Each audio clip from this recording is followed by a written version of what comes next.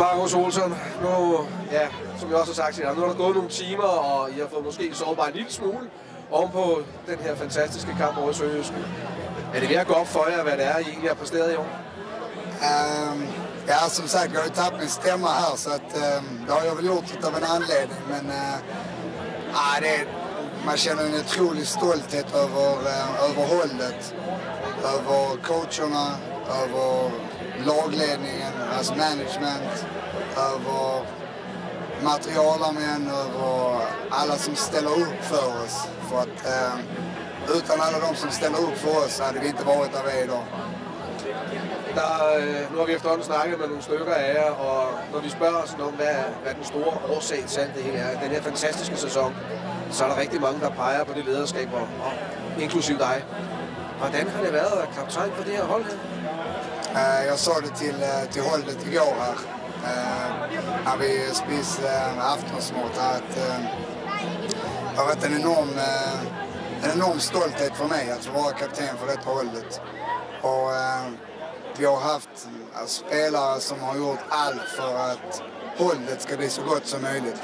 Vi har haft danska spelare som har sett till att alla importer har kommit hit och känt sig som en delaktig direkt. Vi har haft importer som har kommit hit och spelat för framsidan på tröjan, inte för baksidan på tröjan där namnet står.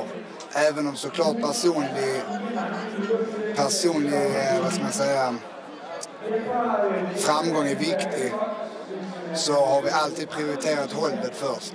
Och det är, eh, det är någonting som gör mig riktigt stolt. Och det är därför vi vann också. Der er også mange af de unge spillere, der siger, at øh, de har virkelig lært noget af jer lidt ældre og jer erfarne spillere.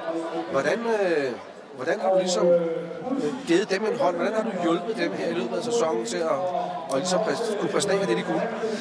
Jag tror det att med de unga spelarna så, alltså som sagt, alla är ju individer så man måste bemöta alla spelare på olika sätt. Men jag tror ju mycket på att man, att man snackas vid en och en. Det behöver inte vara att man sitter i ett eh, formellt möte utan att man, man kommer ner till hallen och sen så lär man, jag vet ju ungefär hur de reagerar på olika saker. Så när man kommer ner till hallen så, så börjar man snacka och sen så kommer man in på kanske både det som är privat, för att det är inte alltid bara att det är det som gäller hockey som är viktigt, utan det kan vara mycket som är privat. För att mår du, mår du gott privat så presterar du ofta gott också på isen. Så att just att man, att man vågar snacka med varandra. Att man bara snackar, att man eh, försöker hitta lösningar på olika problem. Sen är det, ibland är det hockeyrelaterat, ibland är det privat. Men eh, just att man har en kommunikation.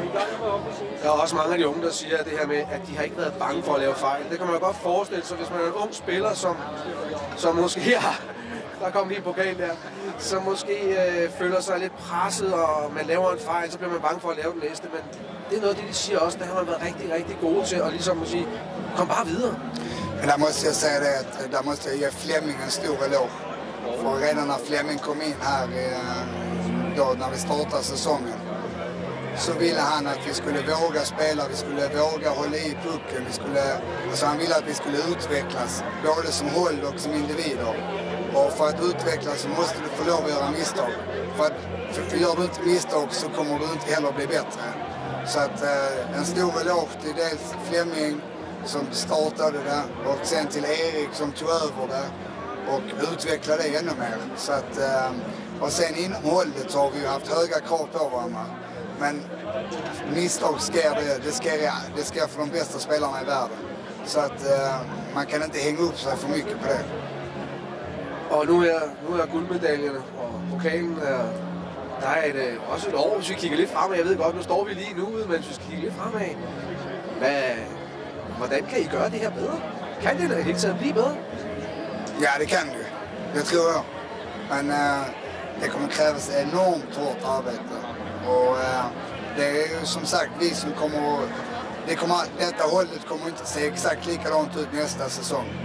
Men de som är här måste sätta standard för de som kommer hit. Att de nya som kommer in ska veta att här i Rungsted så är det det här vi arbetar för. Vi arbetar, vi sätter alltid hållet först. Och eh, givetvis så ska vi vilja att, en, att spelare har, har god säsong individuellt också för då blir vi bättre som håll.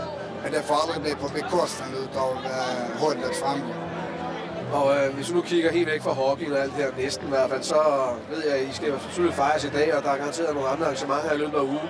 Så har I en tur til, til Spanien eller til Barcelona, hvor I skal ned og hygge jer. Så er det sommerferie. Hvad, hvor lang tid har I sommerferie, og hvad, hvordan gør man for at komme alt væk fra alt det her? Ja, som sagt, man, eh, man får ju någon ugga här nu med, med helt fritt. Men eh, sen så efter trippen till Barcelona där så kommer vi ju att, eh, då kommer vi börja träna. Så att då börjar ju förberedelserna för nästa säsong. Så att de förberedelserna börjar ju redan i maj månad. Och det är ju där någonstans man lägger grunden för kommande säsong. Och det är viktigt för oss äldre och det är viktigt för de yngre. Men vi kommer aldrig kunna träna exakt likadant. För att jag som är kanske då 3 och 11 kan ju inte träna likadant som en som är 20 år gammal. Men vi måste alla göra vårt max från maj till augusti för att komma så väl förberedda som möjligt. Hvad står sommerferien på i år? Ehm, ja, vi får se. Vi, eh, jag har inte planerat någon, eh, någon resa men vi ska nog kunna finna på, något, hitta på någonting kul här i alla fall. Det håber jeg. Nyd, og nyd også momentet nu her med guldhjelm og det hele. Tak skal du have, og tak for en fantastisk sæson. Ja, tusen tack. Tusen